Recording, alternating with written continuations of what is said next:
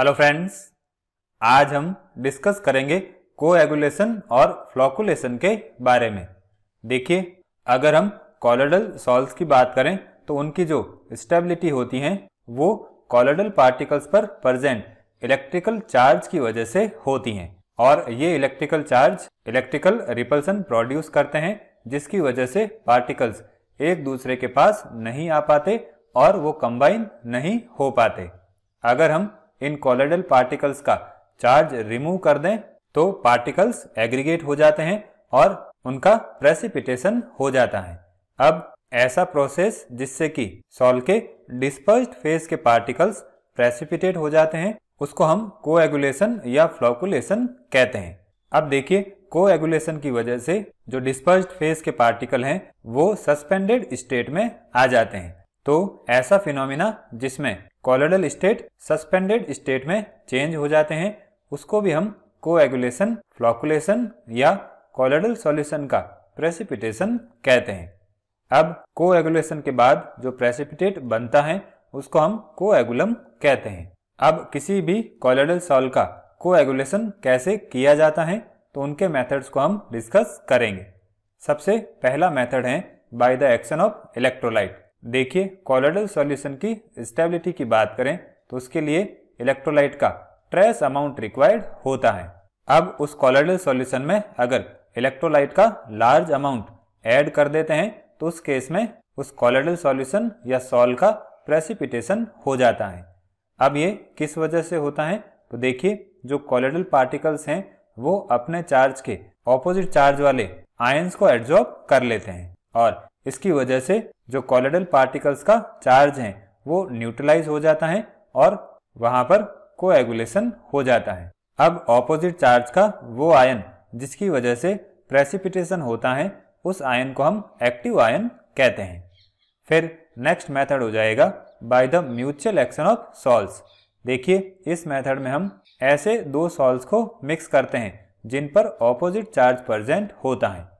अब ये दोनों सॉल्व एक दूसरे के कॉलोडल पार्टिकल्स को न्यूट्रलाइज कर देते हैं और इससे म्यूचुअल प्रेसिपिटेशन हो जाता है।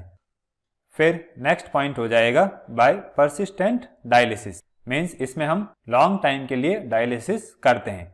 देखिए, जैसा कि हमने डिस्कस किया था सॉल की स्टेबिलिटी के लिए इलेक्ट्रोलाइट्स के ट्रेसेस एसेंशियल होते हैं। अब अगर हम सॉल का प्रोलॉन्ग डायलिसिस करते हैं या लॉन्ग टाइम के लिए डायलिसिस करते हैं तो उस केस में जो इलेक्ट्रोलाइट्स के ट्रेसेस हैं, वो भी डायलिजर से पास आउट हो जाते हैं। और इलेक्ट्रोलाइट के ट्रेसेस जब रिमूव हो जाते हैं तो कोलाइट्स अनस्टेबल हो जाते हैं। फिर बात करते हैं कोएगुलेशन बाय मैकेनिकल मेथड्स के बारे में। देखिए, अगर हम सॉल की वायलेंट स्टेरिंग करते हैं तो उस केस में भी वो कोएगुलेट हो जाता है।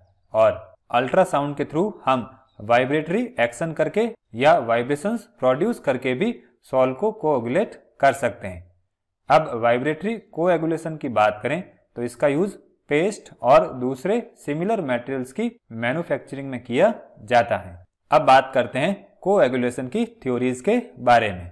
मीन्स कोएगुलेशन का जो प्रोसेस है, उसको एक्सप्लेन करने के लिए कौन कौन सी थ्योरीज दी गई हैं।